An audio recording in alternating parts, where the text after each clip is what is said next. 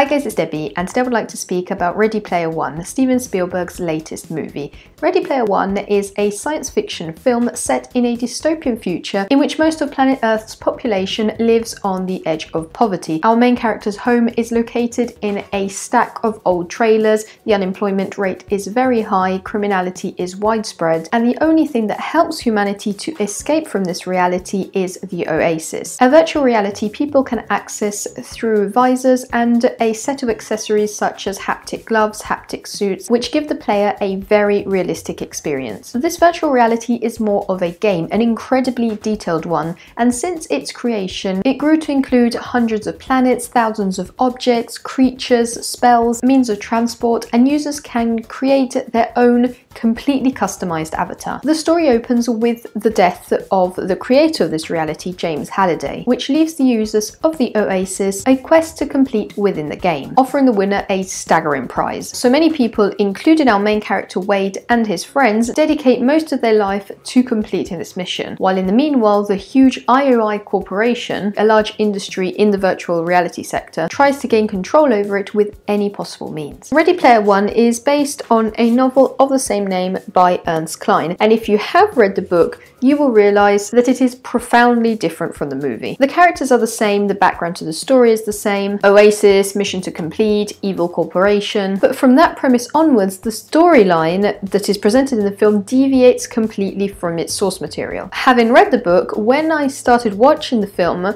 I must admit that I was disappointed. I couldn't figure out what was going on, I thought I'd missed something huge in the book. But once you just realise that it is just simply different, you enjoy the movie in itself rather than just seeing it as a book to screen adaptation. And also the novel has a level of detailing which would have been impossible to bring on screen. There are whole chapters dedicated to the characters completing even one step of the mission. It covers all of the main character's background, everything he thinks or goes through, his relationship with his friends, all the origin of the Oasis, information about James Halliday. There is no way that could have all been brought on screen. And there have been examples of vast worlds successfully brought on screen, for example the Harry Potter saga. But in that case, the staggering amount of information was given to us bit by bit over the course of the years. And even in that case, the last book had to be split into two films to avoid cutting out too much. So although I personally prefer Ready Player One as a book, today I'll have to speak about the film in itself. All in all, after the first minutes of adjustment, I enjoyed it. It fulfilled my geek dreams, it is an interesting story, and I liked how the whole concept was visually brought on screen. The idea of a virtual reality, especially of this size, can be tough to depict, but everything seemed to fit in place, from how the characters interacted in general, the difference between real life and that slight online delay, to the smallest details such as how the characters collected points slash coins, and I especially liked how it showed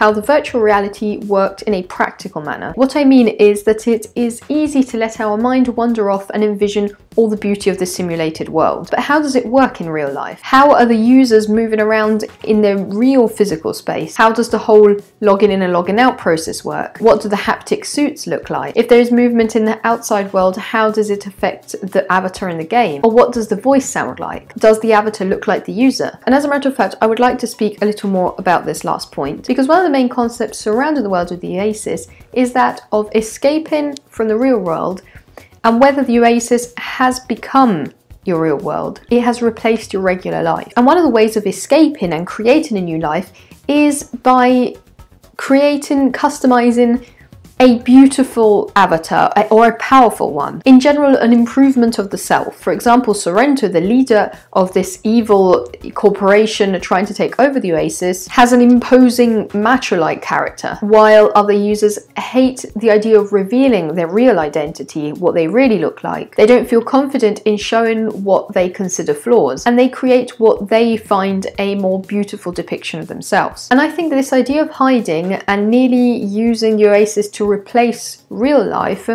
is not highlighted enough in the film. Any of us which use social media, use the internet in general, know that we are always hiding behind a screen. Our profile pictures will always be our best ones. The makeup I'm wearing, the setting of this video is all carefully picked. I could easily say everything I said in this video laying on my bed in pyjamas with no makeup on. On the one hand, we feel safe in this fake reality the internet offers us, On the other hand, do we feel like a massive sheep and want to escape from it. So it is a very interesting concept in general, and when speaking about the film, I don't want to reveal too much to avoid spoiling the plot, but let's just say that, for example, when speaking about beauty and hiding, self-confidence, one of the main characters carries out this whole idea in a very superficial manner, when in reality there was a possibility to speak about it on a deeper level. Another thing I didn't really like in the film was the portrayal of the concept of love. Again, without revealing too much or comparing the film to the book, the way in which love is presented is very cliche in a cheesy romantic film manner. This portrayal of love, alongside other details such as